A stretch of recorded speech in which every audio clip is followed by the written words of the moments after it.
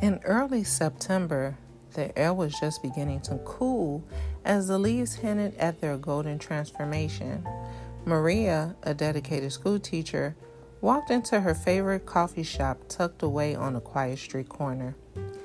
It was cozy, a very cozy place, with worn wooden tables, soft jazz playing in the background, and the rich scent of espresso mingling with the warmth of freshly baked pastries.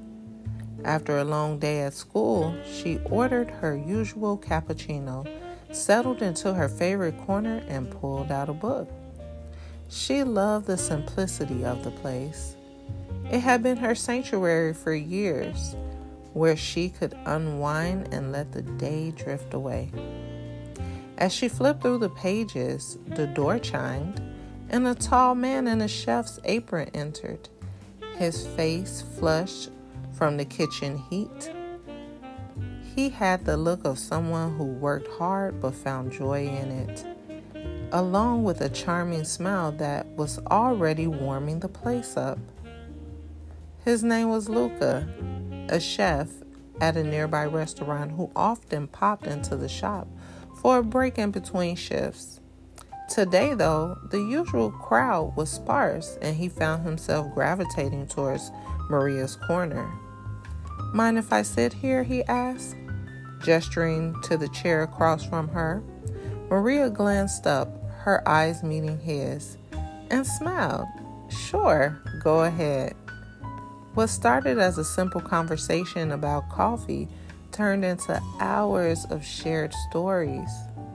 They spoke of their love for their work, Maria's passion for teaching young minds, and Luca's joy in creating art through food. As the hours slipped away, they realized how much they had in common their love for Italian cuisine, traveling, and the quiet moments in life that often went unnoticed. From that day forward, they found themselves meeting at the same coffee shop sitting at the same table and talking until the sun dipped below the horizon. Slowly but surely, they fell deeply in love, their lives intertwining as naturally as the leaves falling in autumn. Luca would cook for Maria, testing new recipes, and she would tell him stories from her classroom that would make him laugh. They began to go on adventures together weekend getaways to nearby towns, hiking in the mountains, and occasionally impromptu trips to Italy, where Luca's roots were from. They explored new places, tasting local foods and finding inspiration in every corner. Their love blossomed, deepened, and after two years, Luca proposed to Maria in that very coffee shop where they first met. Their wedding was a celebration of family, friends, and food. Maria wore a simple but elegant dress, while Luca cooked a feast for their guests. Life seemed perfect until a year later when Luca fell seriously ill. The once energetic chef who could spend hours in the kitchen now struggled to get out of bed. But Maria, with her unshakable love and dedication, stood by him.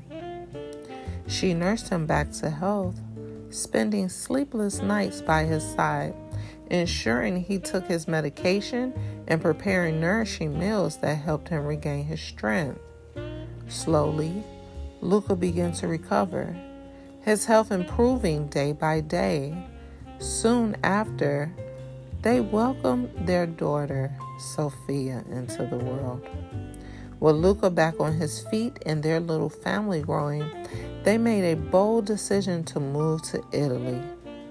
Luca had always dreamed of opening his own restaurant there, and Maria, eager for a new adventure, was excited to make the dream a reality. In this picture perfect town in Tuscany, Luca opened a restaurant and cafe that quickly became the heart of the community. The locals adored his food, and Maria, ever the teacher, began offering language and cooking classes in their new home. They built a life filled with laughter, love, and passion for their craft. Years passed, and every morning, as the sun rose over the hills of Tuscany, Maria and Luca would sit together in their cafe, sipping coffee and reminiscing about the day they first met in that small, cozy shop so many years ago. Their love, now stronger than ever, continued to inspire those around them as they celebrated the beautiful journey that had taken together. The end.